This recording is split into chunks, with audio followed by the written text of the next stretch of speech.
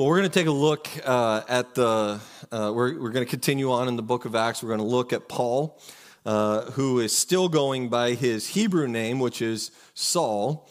Uh, we're going to see the change in his life as a result of this encounter with Jesus, uh, this salvation experience on this road to Damascus that he's had. And now all of a sudden, we're going to look at the transformational work that's taken place in his life. And really, for us, what that means is that it gives us a glimpse and a picture of what happens when you surrender your life to Christ.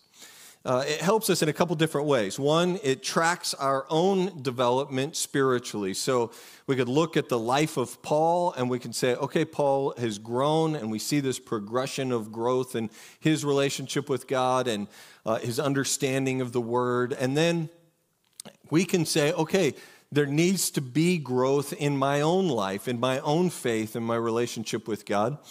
Uh, and then the second thing that it helps us with uh, is that if you don't have a relationship with Christ, if you've not surrendered your life over to Him, uh, then it gives you a glimpse and a picture of what will take place when you do. And, and I hope that you do, because it's a transformational work that takes place. Uh, probably one of the greatest pictures uh, and descriptions of what happens when someone has an encounter with Jesus and surrenders their life to Christ is in 2 Corinthians chapter 5 verse 17. Paul writes it this way. He says, Therefore, if anyone is in Christ, if anyone has surrendered their life over to Jesus, come to a place of complete surrender, then that person is a new creation. All of the old things have passed away and behold, all things become new. In other words, there, when we come to faith in Christ, when we have surrendered our life to Him, there should be a difference in our life.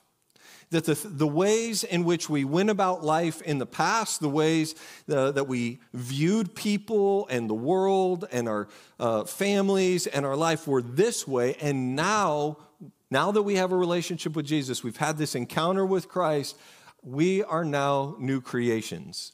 Now, let me preface that by saying this that salvation is not living your life the way that you have lived it and then sprinkle some church attendance and some serving on a dream team and giving in the mix.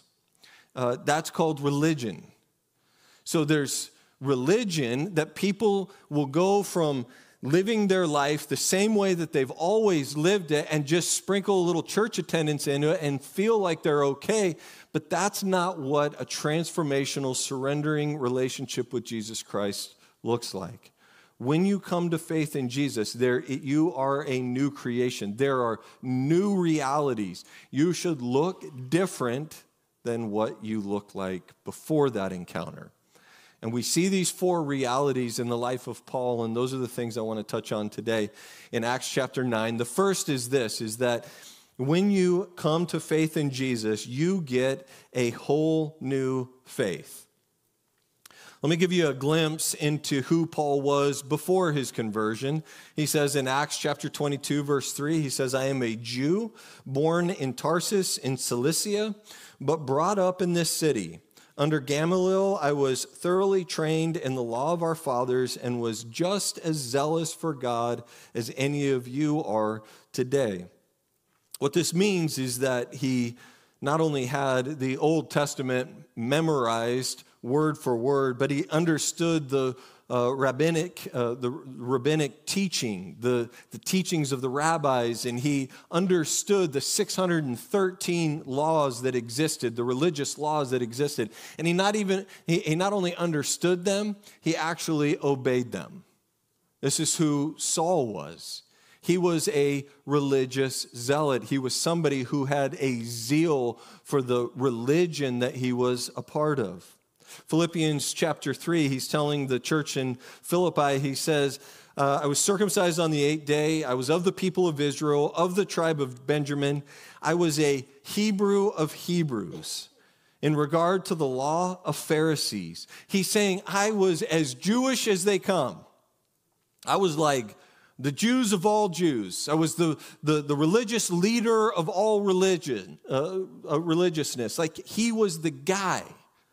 He was the guy that, while Stephen is being stoned, that these other religious leaders came to Saul and laid their coats at his feet. And he was that kind of leader that people followed him. They listened to him. They did what he asked them to do.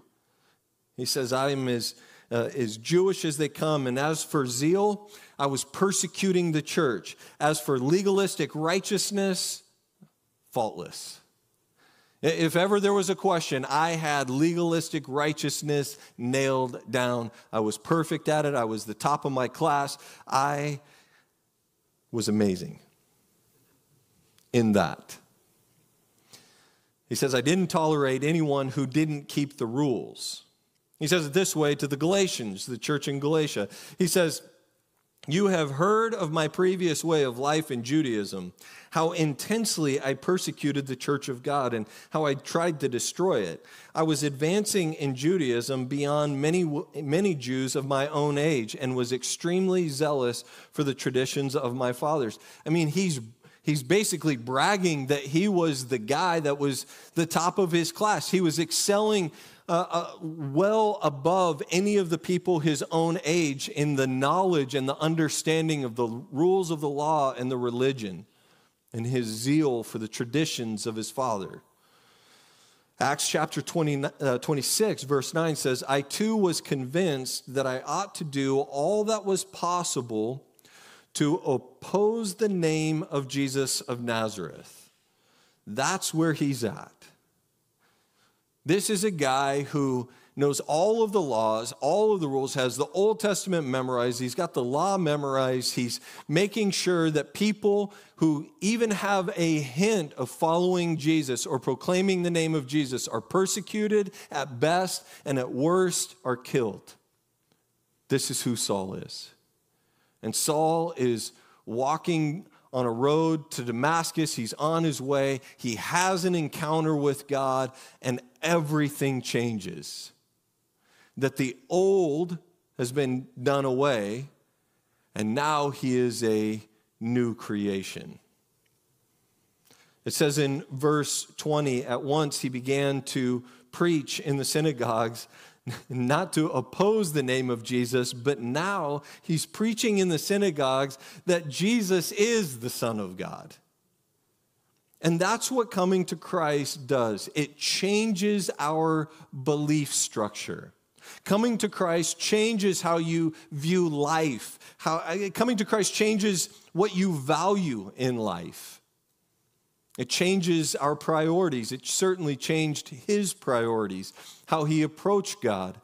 See, prior, prior to his conversion, Paul thought if I just keep the rules, if I just obey the commands, if I just, uh, if I just live my life in such a way of, of strict obedience, then it would please God and that would be good enough to go to heaven. And after coming to Christ, he realized that no amount of rules, no amount of regulations, no amount of obedience would ever get him to heaven. See, before Christ, he thought that religion was just serving God about a lot, uh, and about a lot of commands and words, lots of words. But after coming to Christ, he realized that while words have a place, they need to be accompanied with a demonstration of boldness and power to proclaim the gospel of Jesus. Before Christ, he was teaching that Jesus was a heretic, and after Christ, he's teaching that Jesus is the Son of God. If that's not transformation, I don't know what is. It changed his view of tradition, it changed his view of people. And my question for us this morning is how has your salvation changed your life? How has coming to Christ changed you? Because if it hasn't changed you, could I just respectfully say, maybe you haven't surrendered fully to Christ? Because what I read in Scripture is this beautiful picture of when we come to a place of surrender and we encounter Christ in our life and we surrender our lives over to Him, we are different people. And if you're not, then maybe there's something out of whack in your faith. Some people believe that if I'm just spiritual enough, if I just do enough good things, if I'm not as bad as most of the people that I know, like if they just believe that, people think that that is enough to get them to heaven. But throughout history, what we've seen is that there are a lot of things that people believe that just simply are not true. People believe a lot of things that will never get them to heaven. But a new faith in Christ, a, a surrender and a relationship, becoming a new cre- creation in Christ Jesus, what that does is it begins to make God's word the primary focus of our heart. And it has this effect it leads us in guiding our decisions. That, that having God's word is the primary focus of our heart, it begins to change the, the principles in our life. As we read it and we read the principles of scripture we begin to apply those scripture or those principles into our life and when we begin to apply those principles, we now no longer look the way that we used to look because now we're operating under a different set of principles and a different guideline. It changes how we respond to God. That when you have a new faith, you leave religious traditions behind. And I want to be careful when I say that because that's, that can sound like a, uh, a disparaging remark towards traditions. Not all traditions are bad. Uh, there's traditions that draw us closer into our relationship with God. There are traditions that we do today that have been instructed for us to do. We receive the elements of communion on a regular basis. You could say, well, that seems like a tradition, except for that tradition is instructed to us by God's word. To do this as often as we can. Uh, baptism, we could say, well, that's a great tradition that we have to baptize people in water, except for God's word says that we are to be saved and to be baptized. It gives us clear instructions to carry out this tradition. But there are some traditions that are not in Scripture that we've just come up with as humans, that, that we like. They're good traditions. They're not bad, they're not evil, they're just traditions that are man made. And I would just argue that if those traditions become the primary thing in our life, then our, our order or our priorities are out of whack because our priorities should be what does Scripture say about how we are to live our life? A new faith changes the way that we see people. You what happens when we surrender our life to Jesus, is the song that we just sang says, is that we have eyes to see people the way that He sees them. And when that takes place, all of a sudden, the people that we used to despise in our life, or those people that we would avoid, now all of a sudden there's compassion and there's grace. A new faith gives us a heart of compassion.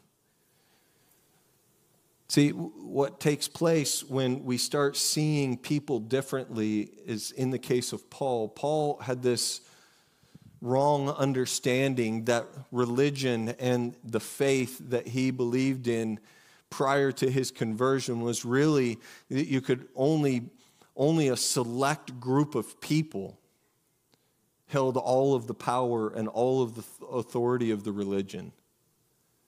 And what takes place, what we see in this new faith that he's now experienced, is that that faith is for everyone.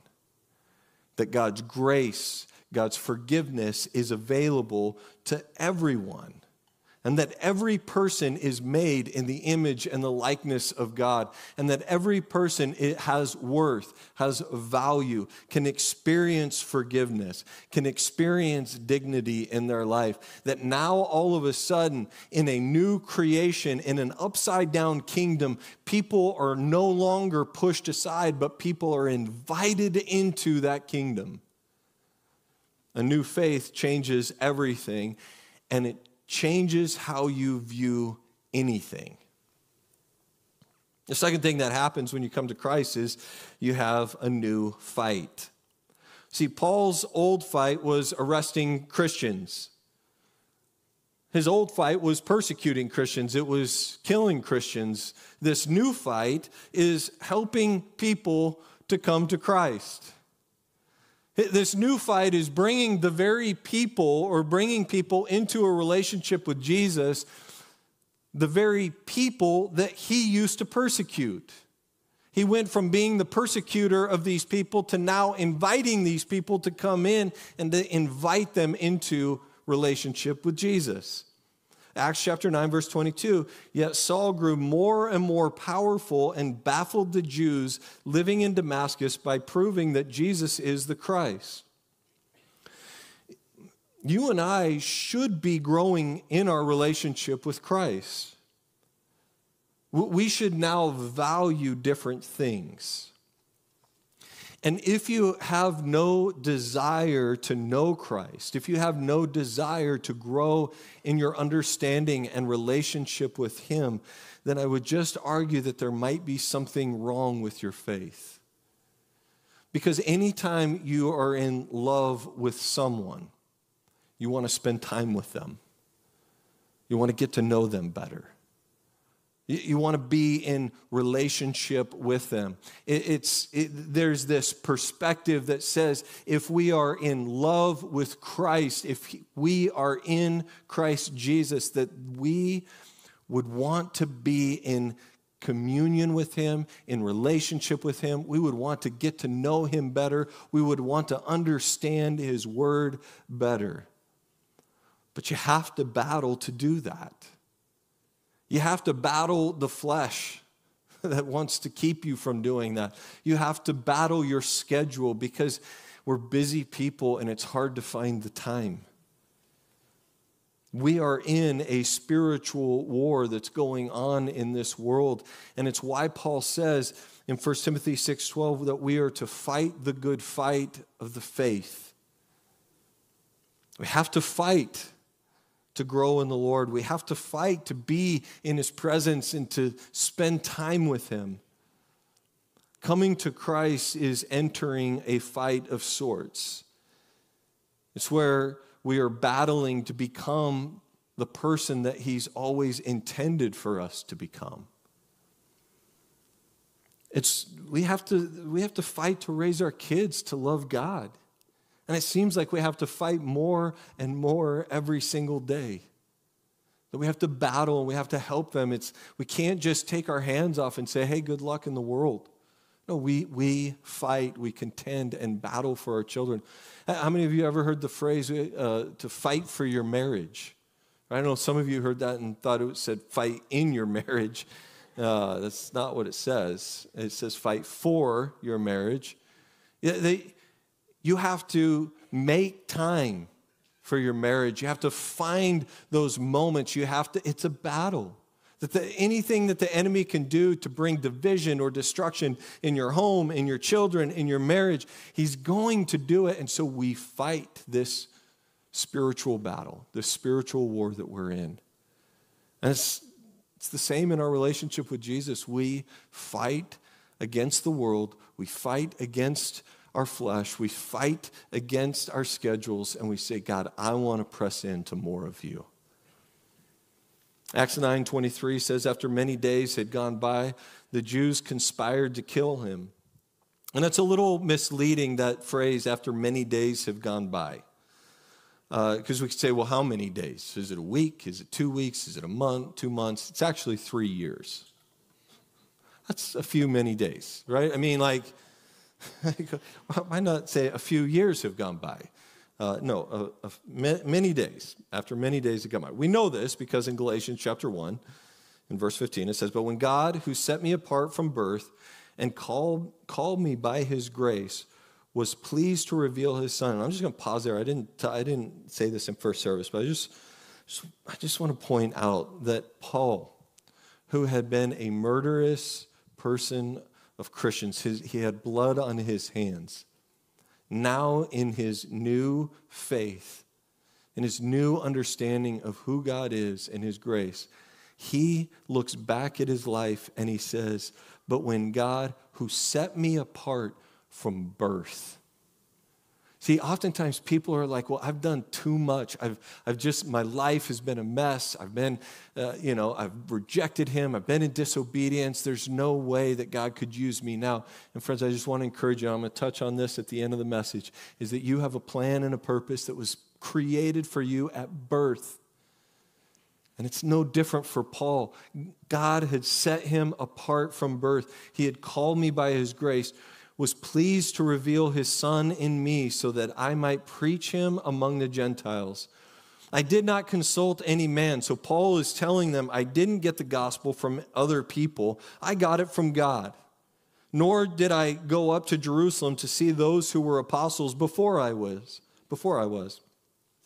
But I went immediately into Arabia and later returned to Damascus. So, just as a picture, as a visual, I should have had a map for you, but in the north was Damascus. So, think about the Middle East.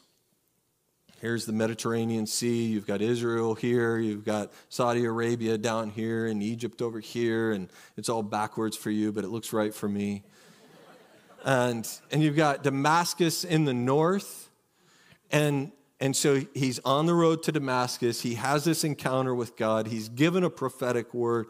And for three years, he goes down to the south and he goes to what some scholars believe Mount Sinai, which was actually on the Arabian Peninsula and not on the uh, Sinai Peninsula. And, and he goes down there and he, and he gets a full dose of the gospel.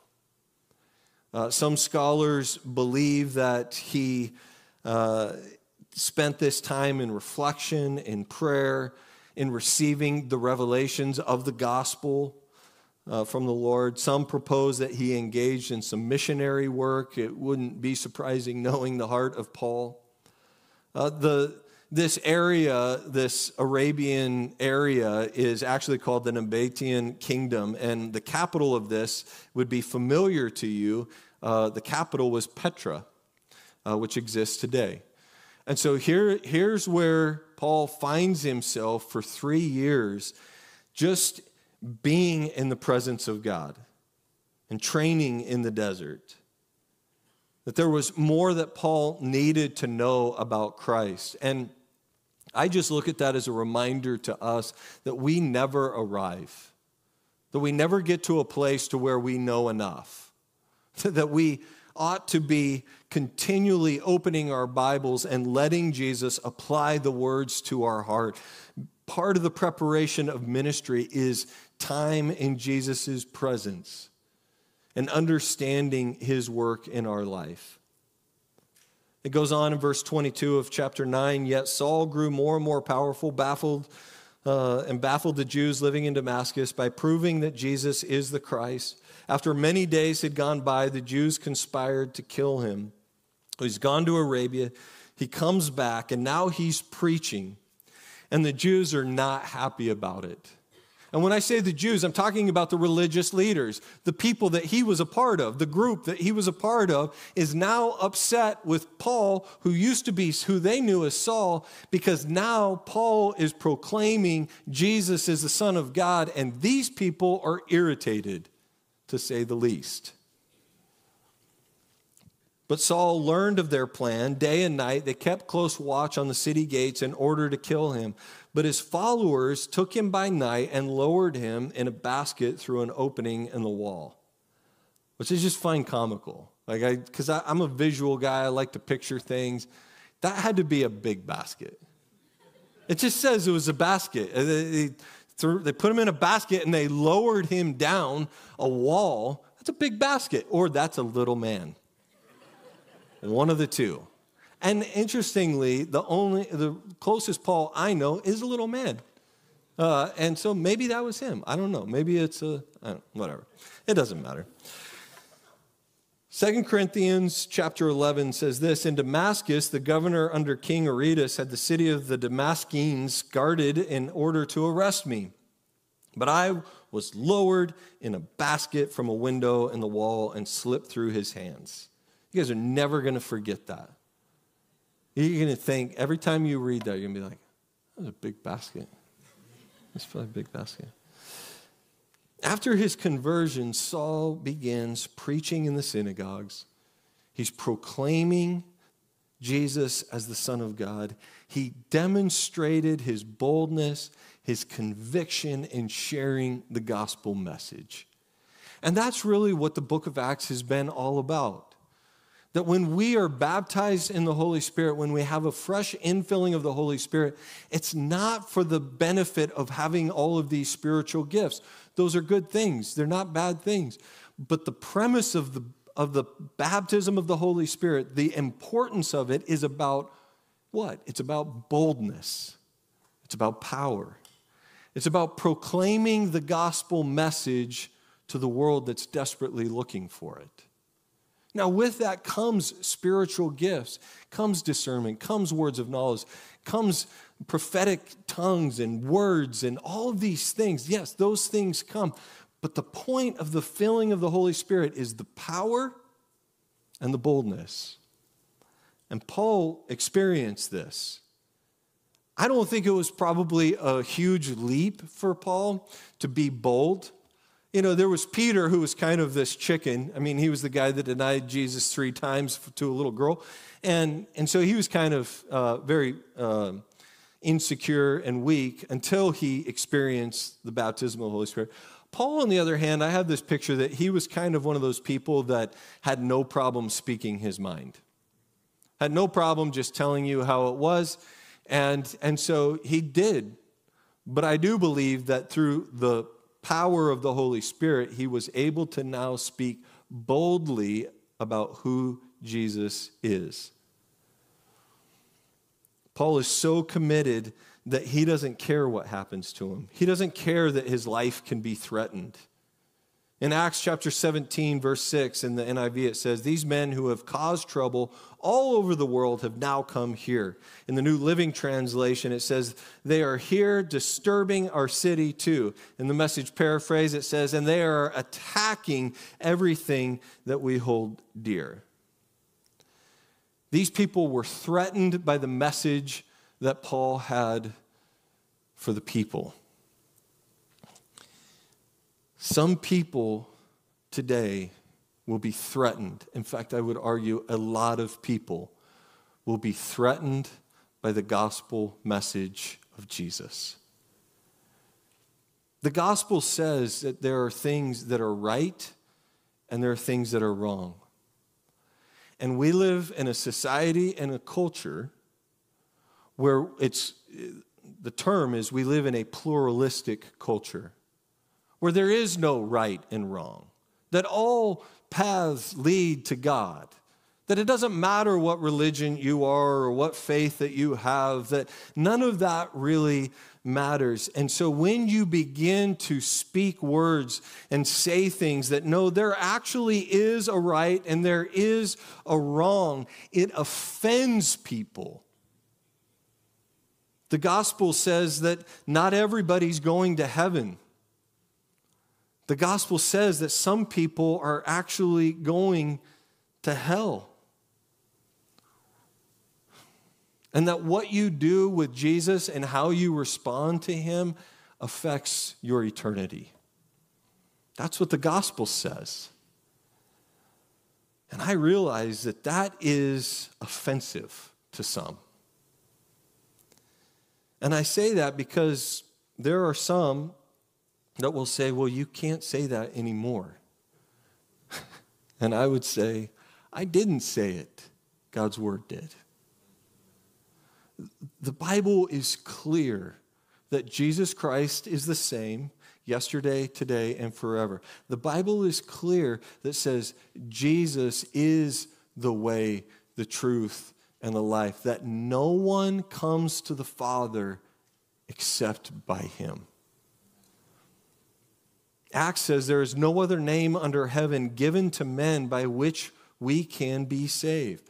But friends, we live in a pluralistic society that says, and, and we're being told, that there are so many ways to God. But that's not what the truth of God's word says. The truth of God's word says that there is only salvation in one name, and that name is Jesus Christ. Mohammed won't save you, Buddha won't save you, Krishna won't save you, your own spirituality won't save you. The gospel of Jesus Christ is true. And when you say that, it irritates people, it hurts people's feelings. There are people that will say, well, what about my, my, my friends or my parents or my family? And, and what about them? Certainly God loves them. And the answer to that is absolutely God loves them. And He loves them so much that He's given them away in eternity, and that's through His Son, Jesus Christ. If all roads lead to God, then what Jesus did on the cross was a waste of time and a waste of a good man. He gave his life so that we could have eternal life. And so when you hear things like, well, you know, there's this religion and that religion, and they're good people and all of that, and I, you can say, well, they may be good people, but they may not be going to heaven. And what this does, a pluralistic culture, what this does, the, this kind of society, is it oh man, I was going to use a word that probably isn't a great uh, explanation of this. Well, just, I'll say it. Who cares, right? That what it does is it castrates us as, as Christians. It's, it keeps us from going out and talking to our parents or talking to our families. Why? It does that so that, uh, or it, it does that because we say, well, they're okay. They may not, they may not be on my team, here at Lifehouse, but they're on another team and they're going to make it to God and I'll see them in eternity. And so we don't have to worry about it if we believe in a pluralistic society. But if we believe that Jesus is the only way, the only truth, and the only life, guess what? That lights a fire under us and we say, There's no way I want to get into eternity without my parents, without my friends See, it moves us from this passivity and it moves us into a place of action that says, I am going to live this out in their life. Just a lighthearted message today. The third thing that we gain in an encounter with Christ is a new family. Galatians 1:18 says, "Then after 3 years I went up to Jerusalem to get acquainted with Peter and stayed with him for 15 days." So he was only with Peter for 15 days. Verse 26 says, "When he came to Jerusalem, he tried to join the disciples, but go figure, they were all afraid of him, not believing that he really was a disciple." They're like, uh I know it's, it's been three years, but I kind of have this recollection. I mean, I'm, I'm not that forgetful that I, I think you were the guy standing there that everybody put their cloaks down to while our friend Stephen was getting killed. I, I, I, I kind of recollect that. You look really familiar. You, you look like that guy. And, and think about it in our context. Let's say that someone murders somebody in our family, in our church. And then three years later, because for whatever reason, they get saved and they come and they want to be a part of our faith community. How, how do we respond? I know how I respond. Hey, safety team, you might want to keep an eye on that guy. Like, this is a guy that killed one of us. And I don't know if I feel comfortable being here in the room with the guy who just killed one of my friends three years ago. And this is their response.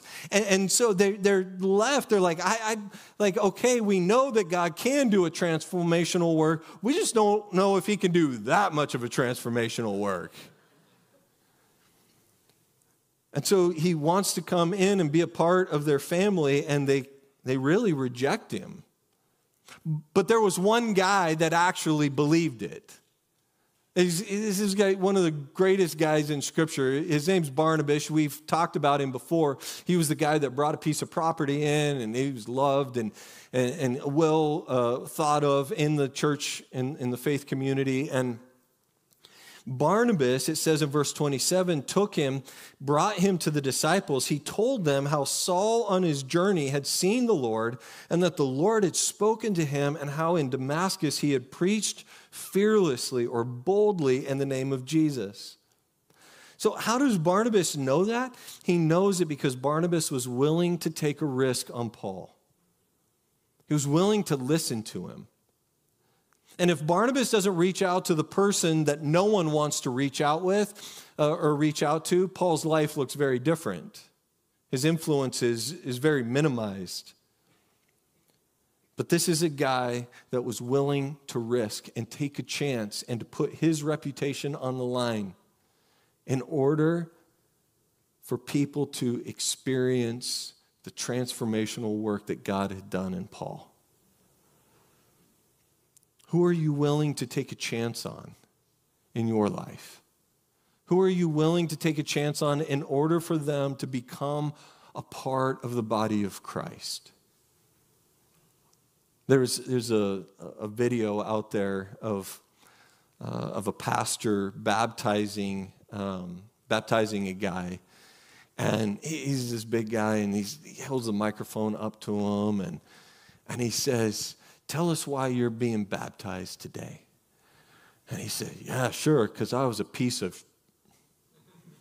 And he says it. And, and everybody, the, oh, there's another pastor behind him. He's like, What did he say? Like, you know, like, that's the guy I want to take a chance on because there's a transformational work that's taking place in his life. Does he say everything the right way? No. Does, like, does he have the Christianese answer? Absolutely not. But that's the process of our faith, of our sanctification. That if we have to be perfect at the point of salvation, then none of us are saved. So Barnabas takes a chance on this murdering, uh, this murderer of Christians, this guy who's got blood on their hands, who killed their best friend, and says, It's okay. He's a good guy now. It'll be all right. I know that fellowship makes a difference, and it would be great to have him as a part of our fellowship, not just for our sake, but for his. Verse 28 says So Saul stayed with them, moved about freely in Jerusalem. Again, here's that word speaking boldly in the name of the Lord. He talked and debated with the Grecian Jews. And again, they tried to kill him. So within 15 days, there are, pe- there are people in two different cities that they just want him dead. And he understood that if God could change him, he could change anybody. That no one was too far off. And so he continued to speak boldly. The acceptance of Saul by the apostles shows the power of grace and forgiveness. The acceptance of the disciples reminds us of the importance of extending love and acceptance to those who have a genuine transformation in Christ, even if they have a troubled past. Even if they were someone who we thought were too far gone, there is grace, there's forgiveness, and there's acceptance. Why? Because if God can transform a murderer of Christians and have a heart change and a transformational work that's so dramatic and so drastic, He can change anyone. Which brings us to number four that when we encounter Jesus, we have a new future. In verse 30 and 31, it says, When the brothers learned of this, they took him down to Caesarea and sent him off to Tarsus. Then the church throughout Judea, Galilee, and Samaria enjoyed a time of peace. I wonder what that felt like, just a time where they just they didn't have to worry about the persecution. They didn't have to worry about being imprisoned. They just had a time of peace. In verse 31, it says um, uh, they had a time of peace. It was strengthened and encouraged by the Holy Spirit, and the church grew in numbers, living in the fear of the Lord. So it appears that Paul spends some time in the town that he grew up in.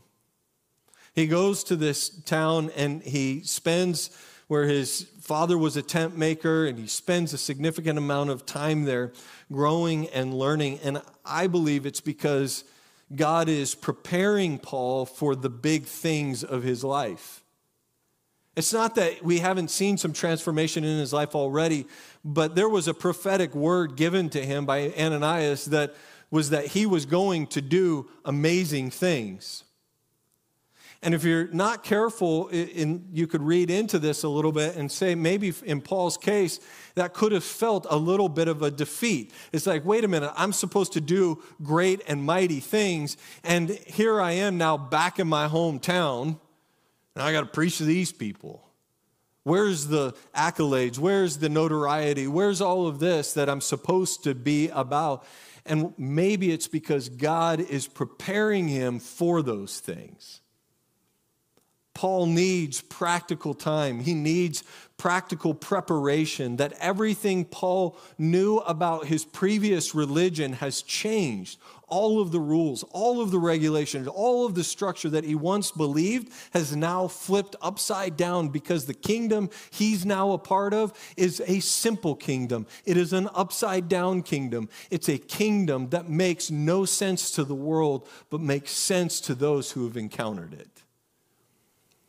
And Paul needed some time to have his mind reprogrammed from, from a structural system, a hierarchical system, a legalistic rules and laws and obedience to a system of grace and forgiveness and humility to a system that says the first shall be last and the last shall be first, to a system that says it's not about the power of your title or authority, but what has God done in your life and the power of the Holy Spirit to work through you. That takes some time to reprogram and to understand and to grab hold of. We can say it's a simple kingdom, but it's a kingdom that doesn't make any common sense in our humanity. What Jesus called a treasure, the world calls a curse, is one of the lines from that song that we sang. The small become great, the last become first. See, this is what the kingdom of God looks like. Now, unfortunately, we have a system and a structure set up in our country and our really across the globe where we have made God's kingdom not about the last being first, but about notoriety, celebrity, the people who are on stage, the people who have the eloquent words, the people who, who are like this and that, and, and it's become something that it never was intended to be. See, what happens now is, and there's not a ton of people uh, clamoring to be in vocational ministry, but those who have felt the calling of God, and I do believe that it is a calling of God to go into vocational ministry, that when they've experienced that, what we set up for them is this picture that is never what it was intended to be that, that you get to be platformed, you get to be loved, you get, you get to be uh, uh, put on a pedestal and, and on social media and all of these things that the world has perverted in our church. And maybe what people need is a season of practical transformation, of preparation of what God is doing in the heart before you get into the ministry. Now, I'm a product of the church. I grew up in the church. My parents were pastors. I grew up believing I owned the church. I treated the building as though it was my home. I, I was that kid. I was that pastor's kid. I got in. I went. In, I went to Christian high school, or elementary school, middle school, and high school. Uh, that only perpetuated this notion that I had it all figured out. Obviously, And what it did is it created a, a, a, certain amount of pride in my life, of religious arrogance and pride that said, Of course, I've got all the answers for people. I'm going to go into the ministry so I could give everybody all the answers. And then I got into Bible college, and it turns out there's people there that will put you in your place. And so it began a season. Had I gone into the ministry, in vocational ministry, right out of high school, I'd have messed some people up. Luckily, I went to Bible college. They messed me up a little bit.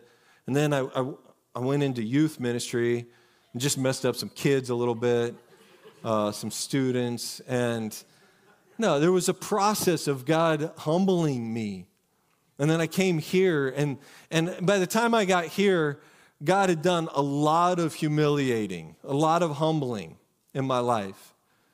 But I still showed up here. The previous pastor, who's a good friend of ours, has been here, was the founding pastor of our church. He was old enough, however, to be my dad. And so I came here thinking, oh, they've been wandering in the wilderness for 40 years. I'm here to lead them into the promised land. You're welcome. So I was going to be Joshua to their Moses, and here I come. I now have all the answers. I'm 30 years old, and I remember distinctly when everyone was leaving the church, I just remember distinctively hearing God say, If I asked you to lead these people through the wilderness for 40 years, would you do it? And I said, Absolutely not. That's not what I signed up for. No, that, I said, Of course. If that's, I don't like it, but if that's what you're calling me to, then I'll do it. And from that point, everything changed. But there's a humbling that has to take place. And I have to believe Paul, who was so arrogant in his religious zeal, so prideful in everything about his life, I have to believe that, that there was this season where God wanted to prepare Paul for the ministry that he had for them. And nothing will prepare you more than going back to your hometown where everybody knew who you once were and now proclaiming something that is the opposite of that. Paul began to plant churches, and we know that there were churches that came out of, there were people that came out of those churches that were a part of the council and all of that. I, I give you all of this because there, there is a, a certain level of expectation. If God's given you, He's placed something in your heart of, of ministry, of purpose, of a plan, and you're not experiencing that, it can feel frustrating. You see, like, I, I, know that God told me this, and why don't I get to do it? Why don't I have the opportunity? Why didn't Pastor Ryan have me preach on Sunday mornings and this and that? And, and I just want to encourage you. It's easy for me to say now, but it certainly wouldn't have been easier back in my 30s, is that maybe this is a season of preparation. Don't diminish this season of your life because God is doing something in you. And maybe it feels like you're not doing anything, but God is actually doing everything that you need. One of the goals that we have as a church is to start a ministry residency program. We have four interns that are going to be with us just here in a couple of weeks. They're going to start their internship, who are people who are interested in, uh, in, in ministry and missions and just different aspects of the church. And, and so they're going to come and be a part of this. And that's kind of step one. It's phase one of a bigger project that we want to do with a ministry residency because I believe that every person needs a safe place to be prepared, to understand, and grow in these elements of what it means to be about in, in ministry, in leading people in the simple kingdom. Not in the kingdom that we're trying to build to get people to us, but in the simple kingdom of humility and where the, the first shall be last and the last shall be first. That, that if we could create an environment, an opportunity that's here for that, it will save them a lot of heartache in their future. And so this, this is all a part of that. In verse 15, we see the prophetic word. The Lord said to Ananias, Go, this man is my chosen instrument to carry my name before the Gentiles and their kings and before the people of Israel. But here Paul is in his hometown. He's not talking to kings, he, he's just he's doing the work. Nobody notices him, he's an anonymous. But he's doing the work and he's being prepared to be able to go before the Gentiles and their kings and before the people of Israel and to proclaim the gospel message of Jesus. I believe God is at work in your life. I believe God is preparing you for what He has for you, what He began in you from the time of your birth. God has a plan in the future. We see that in Jeremiah 29 11. When God, open, when God opens a door, no one can shut it. He remembers the prophecy. And when it come, when it seems like God is doing nothing, God is actually doing everything in his life and he's getting him prepared and ready. I use this example in first service that we all are created with a purpose. We are created on purpose for a purpose. And for some, because you're happy with your life and things seem to be going pretty well, you're not sure that you need a relationship with Christ. And can I tell you that unless you have a relationship with Christ, you will never be fulfilled in this life. You will never discover your true intended purpose. Ephesians 2:10 says for we are God's workmanship we are created in Christ Jesus to do good works which God prepared in advance for us to do. Praise God for what you feel gifted to do. This may be a season where you are supposed to just get into the presence of God. Praise God for those of you who are wanting to step out and do more for His simple kingdom. Do it. I, I was I used this example in first service with with Kelly. It, I believe that God has had a plan and a purpose in her life from the very beginning.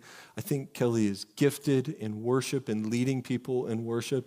She's not the most talented uh, musician in the world. She can kind of tinker around on a keyboard. But there's something in her that God has placed in her in leading other people in worship. But if you would have told me in 2000, when we, when really in 1998, we got married in 1998, we're going into 25 years this, this year of marriage. And yeah, right? That's pretty good. Um, and if you would have told me that she would be on the platform someday leading worship, I would have said, You're out of your mind. Like maybe in heaven sometime, but, but not on earth. Uh, and it's, it's not because she wasn't good enough, it was because she was too insecure. She was shy, she was quiet. If somebody said, Hey, you're going to be on stage talking to people, to me, most people would have been like, Yeah, because you kind of fool yourself and you would be on stage talking to people. But not, they wouldn't say that about my wife. They would say, Not Kelly, she's not going to be on stage in front of people. But I want to tell you that God is developing in her the purpose and the plan that He had for her from the very beginning. There was just a season of her life that God was preparing in her, working in her, dealing with insecurities, dealing with shyness, dealing with all of the stuff that we get caught up in. And now she's in a place to where she gets to lead a room full of people into worship, not because of who she is, but because of who God is. That, that's the kind of of preparation I'm talking about that maybe God is doing in your life, but don't give up on the plan or the purpose. Don't give up on it. Continue to pursue it and allow Him to do it on His terms, not on yours.